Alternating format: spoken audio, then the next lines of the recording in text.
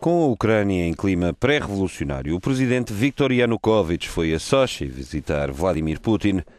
Kiev e Moscou voltaram a discutir a chamada parceria estratégica, mas não chegaram a acordo nem para reduzir o preço do gás russo, de que a Ucrânia depende, nem para a adesão da antiga República Soviética à União Alfandegária que a Rússia está a criar. Pelo menos foi isso que informou o Kremlin. Uma missão de eurodeputados encontrou-se esta manhã com membros da oposição em Kiev.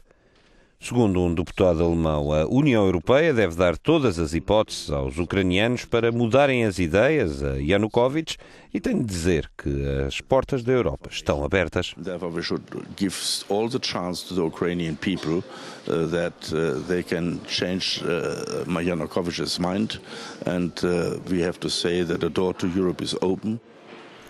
Segundo o deputado europeu, já em 2004, Yanukovych apelou à violência e isso é uma possibilidade neste momento. Mas isso significaria que ele iria dirigir o país como um ditador, tornar-se-ia o Lukashenko da Ucrânia, concluiu.